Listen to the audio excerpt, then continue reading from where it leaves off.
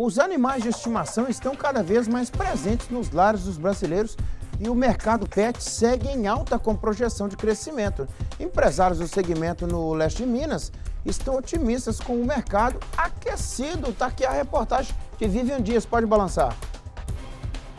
Um levantamento realizado pelo Instituto PET mostrou que em 2021 o mercado de produtos, serviços e varejos cresceu 27%, o que representa um faturamento de 51,7 bilhões de reais.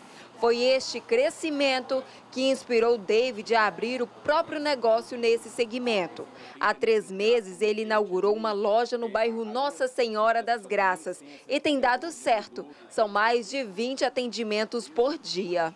A prestação de serviço é o que mais o pessoal tem procurado, que é o banho tosa, nossa clínica veterinária e tudo mais. A gente trabalha com toda a linha de acessórios, a gente trabalha com todas as melhores marcas de rações, é, temos também acessórios para peixes, para aves, então nossa loja assim, é 100% completa hoje no mundo pet. Pais e mães de pet estão cada vez mais comuns e o mercado disponibiliza uma infinidade de produtos, como, por exemplo, a alimentação, acessórios, comedouros e, claro, roupinhas para os animais. Afinal, eles fazem parte da família. Ah, a gente fala isso, né? O pet ele deixou de ser animal para mim da família há muito tempo. A gente tem um cuidado e um carinho assim tremendo pelos, pelos cães, pelos gatos. Eu tenho cão, eu tenho gato, então assim, a gente tem uma preocupação como da família mesmo. E por falar em fazer parte da família, Luciana considera a cachorrinha Luma, de três anos, como uma filha. Os cuidados vão muito além dos pelos escovados e acessórios. A gente dá o banho semanal, né?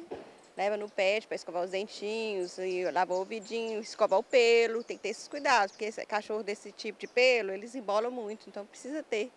Né? É isso, corta as unhas, como se fosse o filho. Usa shampoo antialérgico, porque não é qualquer shampoo que pode, entendeu? A, a, a alimentação diária é ração, não pode dar qualquer coisa para eles. Tem que manter o cartão de vacina em dia. É, cachorro que fica dentro de casa, né? A gente tem que ter cuidado para não adoecer. Esta clínica veterinária, localizada na Ilha dos Araújos, costuma atender em torno de 100 pacientes por semana. Os serviços mais procurados são atendimento clínico e oncológico. Eu tenho muito paciente, às vezes, que foi feito por um outro colega uma retirada cirúrgica de um câncer, e aí o colega me encaminha para a gente completar esse tratamento. Tenho muitos pacientes em quimioterapia, né, que a gente faz também a quimioterapia em cães e gatos, né, e a gente tem muitos pacientes também que às vezes vêm até de outras cidades para tratar o câncer por completo comigo. Então, principalmente hoje o nosso atendimento é o clínico e também a oncologia. A veterinária enfatiza que é sempre muito importante o animalzinho ser acompanhado frequentemente por um profissional. Com esta assistência, é possível identificar características de cada espécie, que vão ajudar, inclusive, na escolha de produtos disponíveis no mercado. Regiões também influenciam. Um animal que mora, às vezes, no sul do Brasil, não tem tanta leishmaniose quanto a gente tem aqui na nossa região. Então, é um animal com maior cuidado com vacina contra a leishmaniose. É um animal que vai para hotelzinho, ele precisa de uma vacina, às vezes, para gripe, ele vai se expor a um ambiente com mais animais. E as nossas vacinas virais, né, de, contra a raiva e contra outros vírus, são sempre importantes estarem sempre em dia.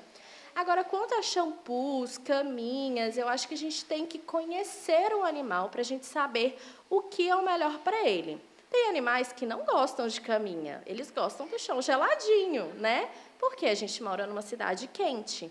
Agora, tem animais que eles gostam do aconchego, eles gostam da caminha, gostam de ficar pertinho do dono.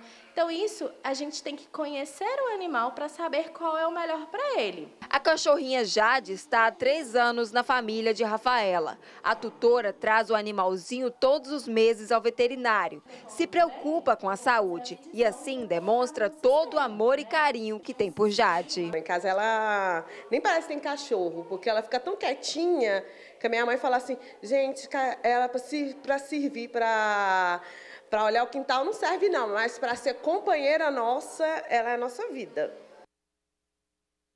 Aí, é viva os pets, né?